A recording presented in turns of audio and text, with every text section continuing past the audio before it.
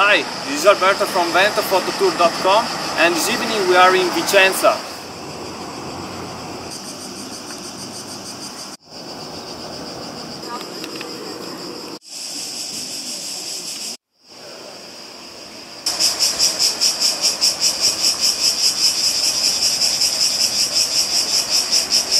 let's talk about geography for a while. Uh, Vicenza is just 40 minutes driving away from Venice and 40 minutes driving away from Verona, just 20 minutes from Padua. I highly recommend Vicenza, it's a fantastic city, especially for photographer. We don't like to have many people around.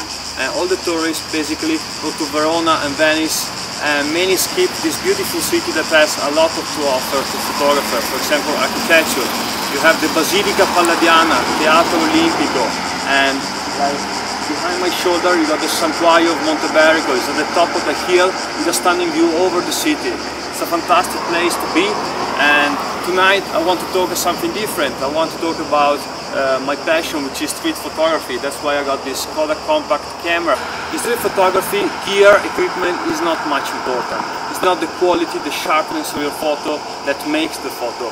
It's the subject, the composition, uh, the contrast, the colors, the shapes, and that's the most important thing that you have to keep in your mind when to want to shoot some street photography. Specifically talking about subjects, uh, please don't do these three things. Uh, first of all, don't shoot tourists. You are in a big city like Venice, I know it's packed of tourists, and the temptation of shooting somebody with a backpack, with a hat, or something that looks like a tourist is high but that will ruin your photo because uh, these people do not belong to the city. So please do not shoot these people.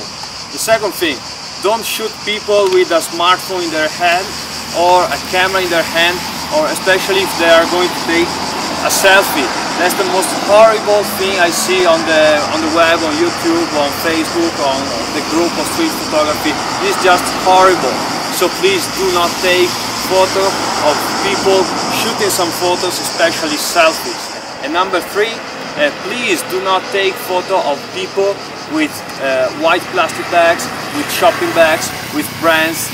Uh, it just looks rubbish. So for today is all. Uh, my name is Alberto of VenetoPhototours.com.